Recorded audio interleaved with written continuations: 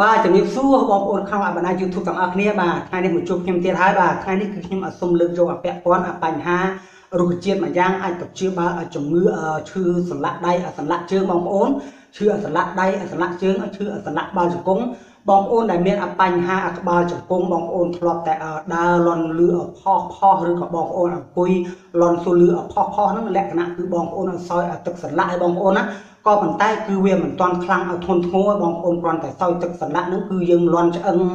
លាក់ដៃលាក់ក្បាលជង្គង់លន់ស៊ូផុសផុសអាហ្នឹងគេហៅលក្ខណៈជំងឺសោយទឹកសន្លាក់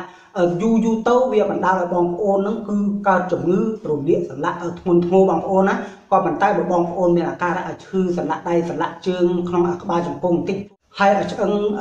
ក្បាលជង្គង់របស់បងប្អូនលន់ស៊ូផុសផុសបងប្អូនដើរឬក៏ងើបពីអង្គុយបងប្អូនលន់ស៊ូផុសផុសហ្នឹងអាហ្នឹងគឺជំងឺសោយទឹកសន្លាក់ឲ្យបងប្អូនអញ្ចឹងបងប្អូនអាចឆាប់ព្យាបាលតាមរូបមន្តរបស់ខ្ញុំបើបងប្អូនទុកយូរយូរវាអាចនឹងកើតជំងឺរលាកសន្លាក់បងប្អូនណា ហើយអាជំងឺរលាកសន្លាក់ហ្នឹងគឺបងប្អូនគឺពិបាកព្យាបាលបងប្អូនអាចចំណាយពេលរាប់ខែបងប្អូនព្រោះអីនៅពេលដែលយើងអសោយទឹកសន្លាក់យើងមិនបានព្យាបាលទេវាឆ្អឹងក្បាលជង្គង់ហ្នឹងគឺវាប្រកិតគ្នាបងប្អូនឆ្អឹងក្បាលជង្គង់យើងហ្នឹងគឺឆ្អឹងខ្ចីបងប្អូននៅពេលកង្កិតគ្នាវាធ្វើឲ្យយើងឈឺឲ្យហើមក្បាលជង្គង់ហ្នឹងគេហៅជំងឺរលាកសន្លាក់ធ្ងន់ធ្ងរឲ្យបងប្អូននៅពេលដែលយើងព្យាបាលបងប្អូនគឺយើងត្រូវការពេល5 6ខែទៅ7ខែដើម្បីឲ្យឆ្អឹងក្បាលជង្គង់យើងហ្នឹងគឺឲ្យដោះរឹងមាំឡើងវិញបងប្អូនអញ្ចឹងគឺយើងត្រូវការពេលសម្រាប់គឺព្យាបាលគឺគេអត់ឲ្យយើងដើរទៅណាមកណាបងប្អូនខ្លាចអាឆ្អឹងហ្នឹងវាក៏គិតគ្នាទៀតឲ្យយើងនៅតែមួយកន្លែងអញ្ចឹងបងប្អូនអាខាតពេលវេលាហើយមិនមានពេលរូបទទួលទានអញ្ចឹងនៅពេលដែលបងប្អូនអាកើតជំងឺឆ្អឹងភីផោះហ្នឹងគឺបងប្អូនអាចឆាប់ជាបាលហើយនៅពេលដែលយើងមិនទាន់រលាកខ្លាំងបងប្អូនអាចធ្វើតាមរូបមន្តខ្ញុំបាននិងខ្ញុំប្រាប់ពីរូបមន្តដើម្បីទៅព្យាបាលឈឺចង្លាក់ដៃចង្លាក់ជើងស្រាលស្រាលគេហៅលក្ខណៈទី1ហ្នឹង គឺខ្ញុំសូមប្រាប់បងប្អូនឲ្យបងប្អូនអភិវឌ្ឍតាមវិធីទាំង4យ៉ាងដើម្បីសុខភាពរបស់យើងនៅពេលដែលបងប្អូនមិនទាន់ឈឺឆ្កាត់បងប្អូនយើងធ្វើអញ្ចឹងណា សុខភាពយើងល្អហើយមិនងាយឈឺឆ្កាត់ឲ្យបងប្អូនមិនបាច់ចំណាយលុយឲ្យច្រើនបងប្អូនគាត់តែអភិវឌ្ឍតាមវិធីទាំង4របស់ខ្ញុំដើម្បីសុខភាពនៅពេលដែលយើងមិនទាន់ឈឺតែបើបងប្អូនដែលមានបញ្ហាឈឺហើយគឺថារូបអីផ្សេងផ្សេងក៏ដោយក៏បងប្អូនអាចអភិវឌ្ឍតាមវិធីទាំង4របស់ខ្ញុំដែរដើម្បីសុខភាពបងប្អូននិងអាចែកជូនបងប្អូនបានហ្នឹងហើយវិធីទី1បងប្អូនណាបងប្អូនភ្ញាក់ពីព្រឹកបងប្អូនណាវិធីទី1គឺបងប្អូនភ្ញាក់ពីព្រឹកគឺបងប្អូនត្រូវតែទម្លាប់ម៉េច ឲ្យបងប្អូនបត់ជើងបងប្អូនណាភ្ញាក់ពីព្រឹកបងប្អូនធ្វើយ៉ាងម៉េចក៏ដោយឲ្យតែទម្លាប់បត់ជើងពីព្រឹកបងប្អូនណានៅពេលដែលបងប្អូនបត់ជើងពីព្រឹកហ្នឹងវាធ្វើឲ្យយើងហ្នឹងគឺអស់ជាតិពុលអាហារដែលយើងបានហូបពីថ្ងៃពីព្រឹកពីល្ងាចហ្នឹងគឺយើងជំរុះចោលពេលដែលយើងឲ្យភ្ញាក់ពីព្រឹកឡើងគឺវាល្អណាស់បងប្អូនគឺយើងអស់ជាតិពុលពីក្នុងខ្លួនបងប្អូនណាបើបងប្អូនមិនទម្លាប់ធ្វើអញ្ចឹងទេបងប្អូនបាត់ជើងមួយថ្ងៃពីរថ្ងៃម្ដងគឺវាមិនដាល់ឲ្យបងប្អូនឲ្យទុកជាតិពុលច្រើន នៅពេលដែលបងប្អូនឲ្យទុកជាតិពុលច្រើនវាធ្វើឲ្យបងប្អូននឹងអាស៊ីអាសោះអស់កម្លាំងអាសាកោះខ្យល់ច្រើនវិលមុខមួម៉ៅច្រើនអានឹងដោយសារតែយើងឲ្យទុកជាតិពុលព្រោះអីលីមុខនោះគឺជាតិពុលបងប្អូនណាបើបងប្អូនធ្វើតាមវិធីរបស់ខ្ញុំបងប្អូនបត់ជើងឲ្យទម្លាប់ពេលព្រឹកពេលព្រឹកហ្នឹងគឺវាល្អណាស់បងប្អូនបើបងប្អូនទុកពី3ថ្ងៃបត់ជើងម្ដងបណ្ដាលឲ្យលីមួករបស់បងប្អូនហ្នឹងគឺក្តៀននៅពេលលីមួកក្តៀនបងប្អូននៅពេលបងប្អូនបត់ជើងមក រាប់ខែរាប់ថ្ងៃអានឹងរាប់ឆ្នាំបងប្អូនយូរយូរទៅវាមិនដាល់ឲ្យបងប្អូនកើតជំងឺឬដួងបានទៀតដោយសារអតលីមួកយើងវាក្តៀនវារឹងបងប្អូនហើយយើងប្រឹងបត់ជើងវាធ្វើឲ្យថង់លីមួកហ្នឹងគឺលៀនបងប្អូនអាក្តៀនលីមួកបងប្អូនមិនប្រឹងទៅអត់យើងប្រឹងហ៎យើងប្រឹងបត់ជើងឲ្យវាចេញមកព្រោះវាក្តៀននៅពេលនោះបងប្អូននឹងស្រាប់ហើយថង់លីមួកយើងគឺប្រឹងគឺលៀនមកដែរបងប្អូនយូរយូរទៅបងប្អូននឹងកើតជំងឺរដូងបាតអាហ្នឹងបើកើតទីមួយអញ្ចឹងគឺខ្ញុំចង់ប្រាប់បងប្អូនថាឲ្យបងប្អូនទម្លាប់ បត់ជើងបងប្អូនណាទម្លាប់ហ្នឹងវាពិបាកណាស់ដំបូងខ្ញុំចង់ប្រាប់បងប្អូនថាវាពិបាកណាស់វាដំបូងប៉ុន្តែបងប្អូនធ្វើយូរយូរទៅ4 10ថ្ងៃមួយខែទៅគឺនឹងធ្លាប់ឲ្យបងប្អូនភ្ញាក់ពីគេងដឹងចង់តែបត់ជើងព្រោះអីខ្លួនឯងខ្ញុំគឺខ្ញុំពិសោធន៍ហើយហើយឲ្យតែភ្ញាក់ពីគេងព្រឹកឡើងគឺចង់ទៅបត់ជើងគឺយើងទៅបត់បងប្អូនណាទម្លាប់យូរយូរទៅបងប្អូននឹងធ្លាប់ហើយយើងបត់ជើងពីព្រឹកហើយគឺហើយ ចឹងគឺប្រការទី1ប្រការទី2បងប្អូនភ្ញាក់ពីគេងបងប្អូនណាភ្ញាក់ពីគេងគឺបងប្អូនដុសធ្មេញហើយលុបមុខហើយបងប្អូនផឹកទឹកកន្លះលីត្រតែផឹកទឹកកន្លះលីត្រហ្នឹងខ្ញុំចង់ឲ្យប្រាប់បងប្អូនថាផឹកដោយបច្ចេកទេសបងប្អូនណាបងប្អូនឆ្ងល់ហើយផឹកដោយបច្ចេកទេសមិនគ្រាន់តែផឹកទឹកយើងផឹកទឹកដើម្បីឆ្អែតគឺយើងផឹកអឹកអឹកត្រូវអត់បងប្អូនយើងផឹកអឹកអឹកមួយភ្លេតអស់កន្លះលីត្រឬ1លីត្រអាហ្នឹងយើងផឹកដើម្បីឆ្អែតហើយបងប្អូនក៏ឆ្ងល់ទៀតដែរថាផឹកដើម្បីឆ្អែត មិនទៅអាផឹកអចេញទេសហ្នឹងមិនទៅហើយយើងផឹកទឹកគឺដើម្បីឆ្អែតដែរហើយផឹកអចេញទេសហ្នឹងគឺយើងផឹកផឹកដោយបច្ចេកទេសហ្នឹងគឺយើងផឹកមិនផឹកដោយឆ្អែតគឺយើងផឹកអឹកអឹកបងប្អូនធ្លាប់ផឹកកន្លះលីត្រឬ1លីត្រហ្នឹងគឺយើងផឹកត្រឹមតែ1នាទីឯងក៏ប៉ុន្តែផឹកដោយបច្ចេកទេសហ្នឹងគឺយើងផឹកកន្លះលីត្របងប្អូនណាពេលព្រឹកគឺយើងផឹកអឺ ម្ដងគឺ3ទៅ4នាទីបងប្អូនណាគឺយើងបឺតម្ដងបន្តិចម្ដងបន្តិចឲ្យមានផឹកអឹកអឹកឯងបងបងប្អូនណាផឹកដោយបច្ចេកទេសដើម្បីទៅជួយឲ្យសុខភាពរបស់យើងហ្នឹងគឺយើងផឹកលេបម្ដងបន្តិចម្ដងបន្តិចធ្វើម៉េចឲ្យ3ទៅ4នាទីចាំអស់បងប្អូនណាកន្លះលីត្របងប្អូនធ្វើអញ្ចឹងឲ្យជារៀងរាល់ថ្ងៃប្រចាំថ្ងៃវាធ្វើឲ្យរាងកាយរបស់បងប្អូនហ្នឹងគឺល្អហើយក្នុងរាងកាយរបស់បងប្អូនហ្នឹងពោពេញដោយជាតិទឹកបងប្អូនដឹងស្រាប់ណាខ្ញុំចង់និយាយបន្តិចវីដេអូហ្នឹងអាចនឹងវិញបន្តិចបងប្អូនណា ខ្ញុំចង់ប្រាប់បងប្អូនថារាងកាយរបស់យើងបងប្អូនណានៅពេលដែលយើងសម្រាប់ពីល្ងាចលក្ខណៈពីម៉ោង8ម៉ោង9ហ្នឹងរហូតដល់ព្រឹកគឺរាងកាយយើងគឺអស់ជីវជាតិហើយ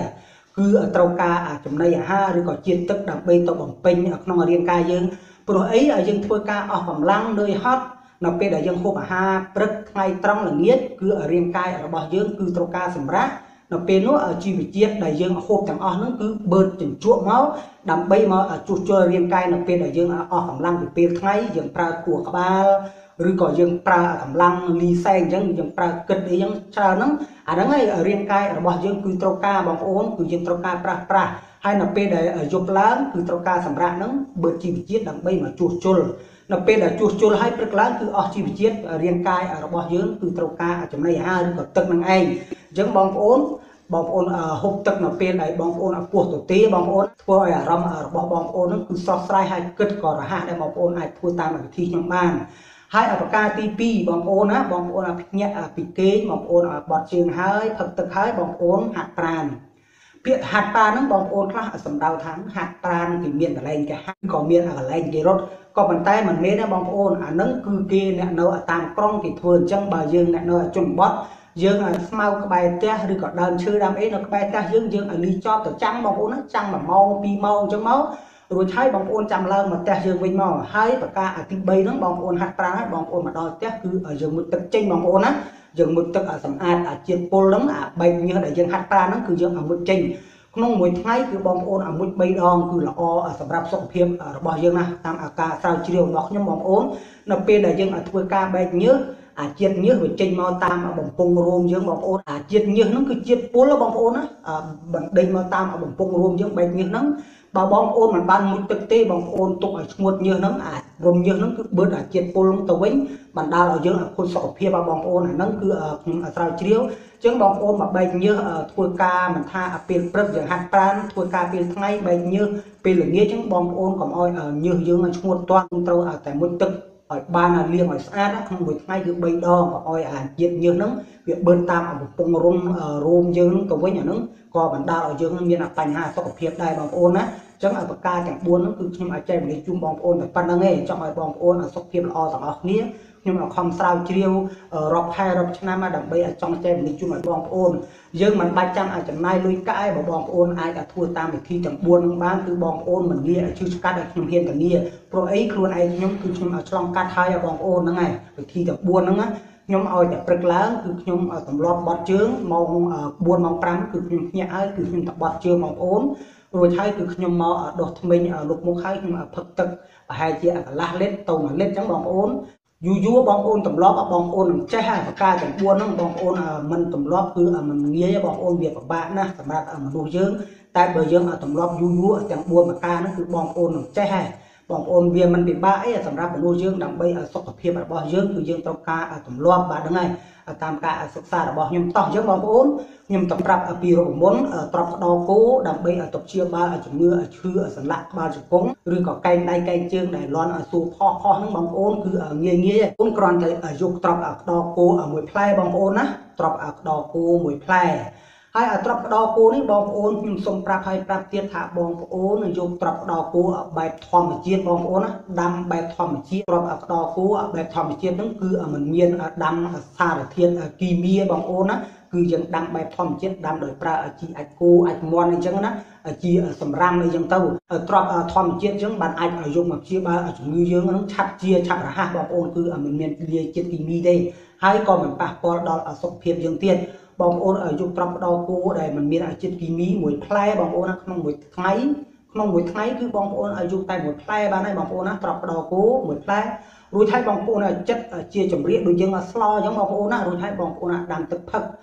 ក្នុងមួយផ្លែហ្នឹងគឺបងប្អូនដាក់ទឹកម្លិតកន្លះបងប្អូនណារួចហើយបងប្អូនរងាស់10ទៅ15នាទីបងប្អូនណារួចហើយចាំបងប្អូនដាក់មកក្តៅអូនអូនហ្នឹងបងប្អូនពិសាទៅតិចក៏យើងពិសាបានដែរបងប្អូនក្នុងមួយថ្ងៃបងប្អូនពិសាមិនឲ្យអស់ទឹកហ្នឹង1លីត្រ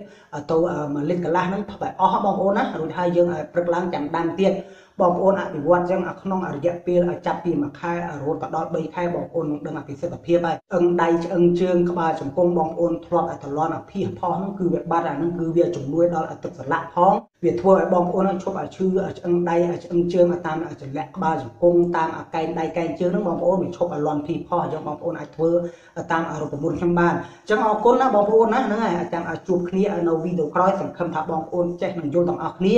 បើបងប្អូនអាចពេញចិត្តវីដេអូនេះសូមជួយចុច Subscribe និងចុចសញ្ញាកណ្ដឹងនឹងបានទទួលវីដេអូថ្មីថ្មីនៅពេលដែលខ្ញុំអាប់ឡូតតាក់ទងនឹងអសុខភាពបងប្អូននឹងបានឃើញភ្លាមភ្លាមគឺខ្ញុំមានតែប៉ុណ្្នឹងឯងសង្ឃឹមថាបងប្អូនអាចចេះនិងយល់ទាំងអស់គ្នា ជូនពរឲ្យបងប្អូនឲ្យសុខភាពល្អទាំងអស់គ្នារោគទទួលទានមានបានក្រុមគ្រួសារបងប្អូនសុខសប្បាយទាំងអស់គ្នាហ្នឹងហើយធ្វើដំណើរតាណាមកណាឲ្យជួបតែសេចក្តីសុខតាមផ្លូវចិត្តផ្លូវឆ្ងាយបងប្អូនណាហ្នឹងហើយជួបគ្នានៅវីដេអូក្រោយបាទ